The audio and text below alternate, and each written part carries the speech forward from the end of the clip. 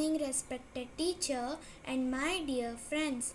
I am Tamanna and today I will explain how to make an electric circuit. The base I have used is a cardboard which I have painted with red color. The basic components are a battery, some connecting wires, these two push pins, a safety pin to make a switch, a bulb and a connector to connect the wires.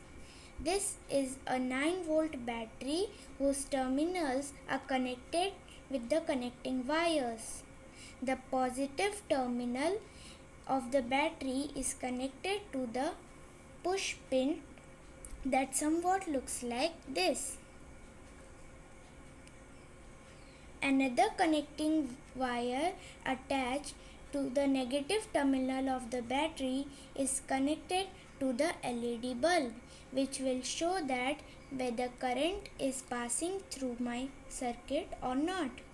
Now when I touch the safety pin and get the switch close to the push pin then circuit gets completed and currents flow through the battery and it is clearly visible and when I remove the switch from the push pin the bulb stops glowing and the circuit breaks down.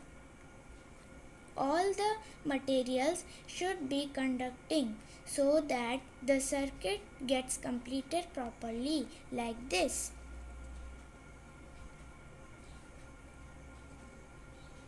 Thank you.